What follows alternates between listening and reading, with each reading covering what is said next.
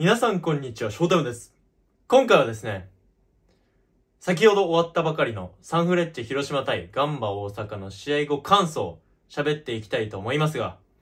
えー、まずは昨日のコラボ生放送を見てくれた方ならわかる通り、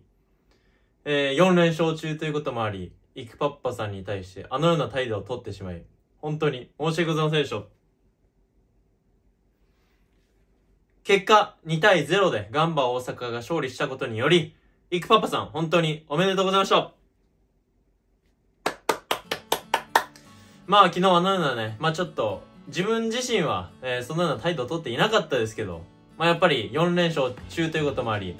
まあ多少ね、えー、昨日緩みが出てしまったのか、まあどうなのかわかりませんが、結果的に、まあ90分通して本当に完敗をしてしまったということで、まあその意味を込めてちょっとね、えー、今日はイクパッパさんに向けた、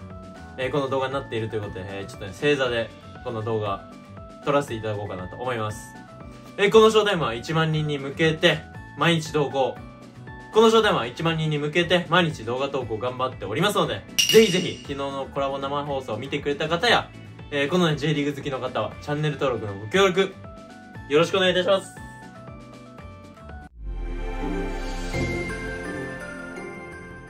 はい、ということでですね、まあ、早速、まあ、気を取り直して、まあ、今日の試合後感想ということで喋っていければなと思っております。えー、J1 第15節ガンバ大阪対サンフレッチ広島ということで、まあ、7時キックオフで行われた試合は、結果だから申しますと、2対0でガンバ大阪が勝利を収めました。まあ、対照的な両チームということで、ガンバ大阪はこの試合を迎える前まで4連敗。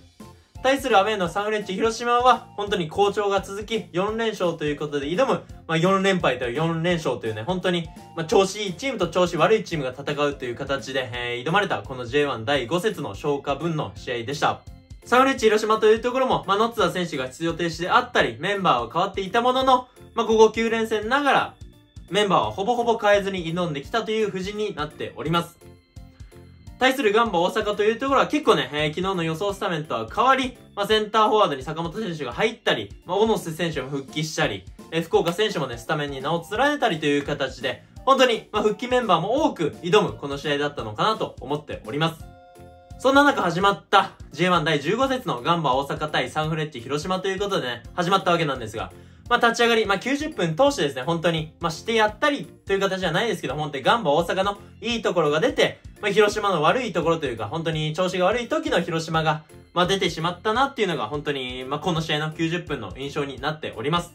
ガンバ大阪は4連敗中ということもあり、4試合連続失点中ではあったものの、まあ、90分通してしっかり、えー、最後の方はですね、全員で守り抜くという形で、えー、無失点で終えれたのは本当に大きかったところだと思いますし、まあ、検証を売りにしているだけに、広島としては久しぶりの2失点になってしまいましたので、まあ、2失点するとなかなかね、勝てないということで、まあ、次節以降に繋げていかなければならない反省点だったのかなとは思っております。え前半というところで36分、39分ですかね、おそらく、えー、連続失点という形で、まあ、失点してしまったのがこの試合の、まあ、最大のポイントだったと思いますし、まあ、あのような形で先制点を取られてから、まあ、わずか3分後にああいうのような形で、えー、失点してしまうと、まあ、本当にいくら調子のいいサンフレッチェとはいえ、まあ、まくることはできないという難しい、試合展開になってしまったのかなと思っております。また最終ラインからのちょっとミスも多くですね、えー、今日はいつもにまして、まあ、ちょっと最終ライン、まあ、自陣での、えー、アタフタというところがですね、見られましたので、まあ、ここは引きずらず、引きずらずに、えー、頑張っていってほしいところだと思いますし、まあ、連勝中の頃から言ってた通り、まあ、ここ数試合本当に勝てていただけに、逆に負けた時のその次の試合が大事だよというところは話していましたが、まあ、しっかりね、この試合負けてしまったので、まあ、この週末の試合、えー、また気を取り直して勝てるのかというところが、まあ、本当ね、広島、えー、優勝争いに食い込めるのかというね、えー、進化が問われる試合だと思いますので、まあ、負けてしまったことは本当にしょうがないですけど、また週末の試合切り替えて頑張っていってほしいのかなと思いました。まあ、それに伴い、えー、この試合もね、途中出場となったドーグラス・ビレイラ選手というところが、コーナーキックで、えー、庄司選手に、まあ、膝がね、あれ本当に乗られてしまって、まあ、見ているのも辛いいぐらい、本当にちょっと、まあ、グロい、シーンになってしまいました。まあ、そんなような形で結果的に最終的には、えー、10人で戦わなければならなかった広島というところありますが、まあ、このね、今節、勝ち点3を落としたというところに加えてですね、まあ、あの、ドーグラスの選手の、えー、本当に怪我というのはこの試合を負けるよりも、大きい、えー、代償になってしまったのかなと考えております。まあもちろんまだ、えー、診断結果だったりっていうところは出ておりませんが、まあ、あのような映像の形だけ見るとですね、本当に長期離脱もあり得るような、えー、膝の曲がり方だったので、えー、まあ、長ければ本当にまあ、今季絶望というところもあり得ると思いますし、まあ、そういうことを考えると本当ドーグラス選手の気持ちをね、えー、代弁するだけで、まあ、辛いですし、まあ、ああいう怪我は本当に庄司選手も悪気なく、えー、しっかり競った上での、まあ、怪我になってしまったので、本当に誰が悪いとかではありませんが、まあ、ドーグラス選手は本当に心境というところが本当に心配な限りですので、まあ、今後の進展というか、えー、どのような怪我だったのかという続報を待っていきたいなと思っております。まあ、今日はね、本当に、えー、負けてしまったということで、手短にこの動画締めたいなと思うんですが、まあ、最後のシーン、本当に追いつければ、えー、まだわからなかった、まあ、80分過ぎというところで、まあ、ちょっと倉田選手の後ろからのあまりにも、まあ、ちょっと、不用意というか、えー、悪質な、えー、後ろからのスライディングがありましたので、まあ、ああいうところは本当に、まあ、ガンバ大阪の執念が、まあ、あのような形に出てしまったっていうのはもちろん、えー、分かり得るところはありますが、まあ、いくらね、人数がいるとはいえ、まあ、あれはちょっと退場でもよかったんじゃないのかな、というぐらいの悪質な、えー、ファールだったので、そこはね、ちょっと審判団の方、また考えていってほしい、えー、ところだったのかなと思います。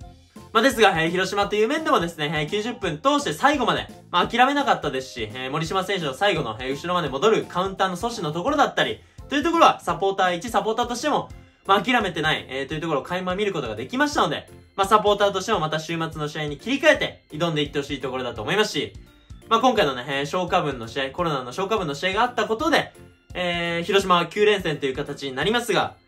まあ、本当にね、えー、チーム一丸となって戦っていく必要があると思いますし、まあ、今日野津田選手がいなかったことによって、また、まあ、スタメン11人だけでなく、えー、その他の選手のね、まあ、ちょっと力不足というか、というところもちょっと出てしまった、えー、この試合だったのかなと思いますので、また、えー、日々の練習から含めて、まあ、普段出てる11人だけでなく、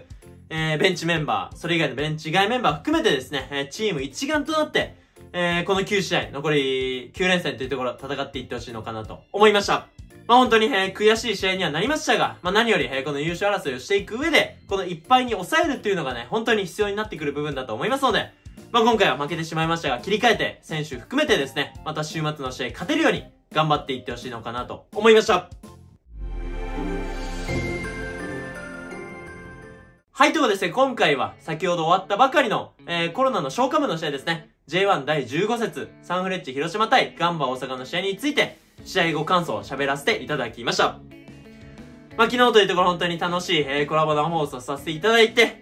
まあ、惜しくも、えー、イクパッパさんに負けてしまったということで、本当に悔しいですが、またね、まあ、これは一応前期分の試合になりますので、またね、第2戦というか、えー、後期分の試合が待っているということで、そちらも楽しみに頑張っていきますので、えーイクパッパさん含めた、まあ、ガンバ大阪サポーターの方も、ぜひぜひ、えー、楽しみに戦っていってほしいのかなと思います。ということですね、今日もご視聴ありがとうございました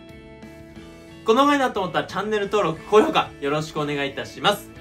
まあ、普段ね、見ている方はわかる通り1万人目指して頑張っておりますので、まあ、このショータイムと昨日コラボさせていただいたイックパッパさんの方のチャンネルも概要欄に貼っておきますので、ぜひぜひ登録の方よろしくお願いいたします。